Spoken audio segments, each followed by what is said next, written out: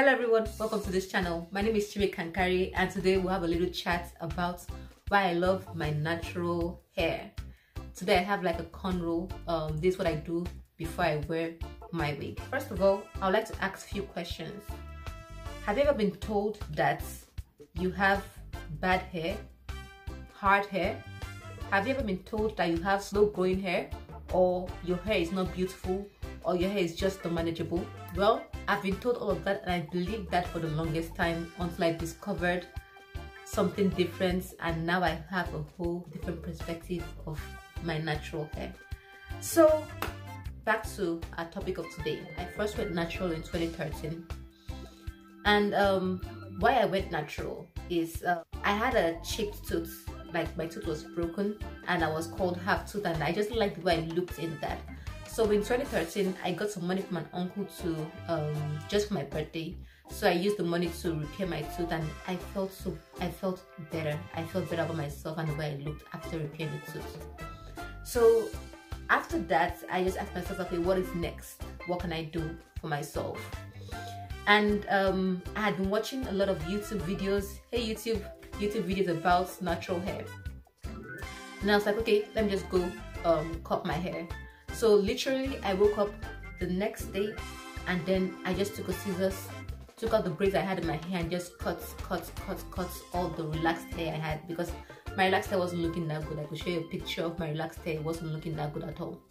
So I cut it and after I cut my hair, I went to my I went to meet my brothers downstairs and they were like, "Oh, why did you cut your hair? Like you don't really look good and all that." I mean, again, brothers brothers being brothers, right? They had to say what they had to say. Um, but I was like, "Oh, sure." I mean, it's just something new I want to try, and I could just wear uh sewing or do some braids and I'll be fine. So I did that. Um, after I cut my hair, I did put on some braids just to at least help me in that transition.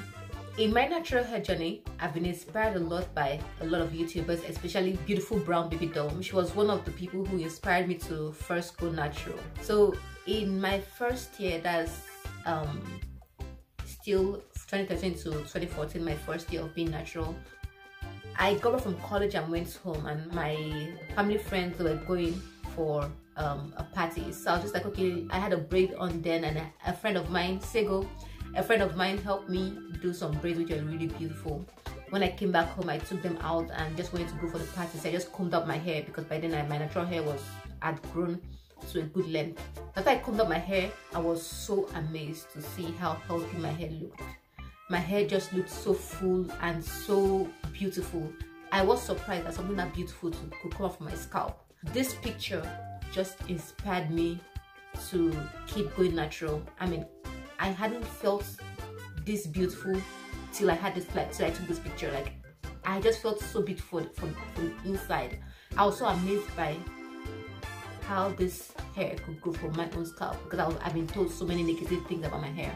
So after that experience in my first year, seeing just how beautiful I felt in my natural hair, I was motivated to keep going and um, overcome whatever challenge I faced in my natural hair journey.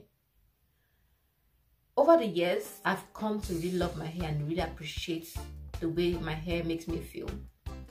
So I love my hair first being beautiful. I love my hair for being healthy.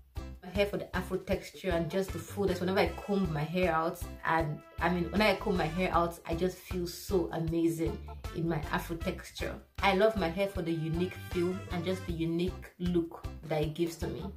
I love my hair because it's fine. And when I say fine, I mean like fine four, type four hair. And given that my hair is fine, even though it's long, I'm still able to um, put it back and style it or even put it back and wear a wig over it and my hair just takes it in well. I love my hair because it, it enables me to try out different looks, braids, wigs and all different looks. It just takes it in well and still keeps itself healthy. I love my natural hair for the confidence it brings to me. I just love the way I look when I have my hair out or like in a really nice style. I just love the way I feel with my hair looking all nice and well taken care of. And last but not least, I love my hair because it made me famous. Um, I'll show you a video later on how my natural hair made me famous. Well, you take care and I hope you all find ways to love your hair and also motivation that will help you through the hard times in your natural hair journey. Thanks for watching and if you like this, please like, share and subscribe.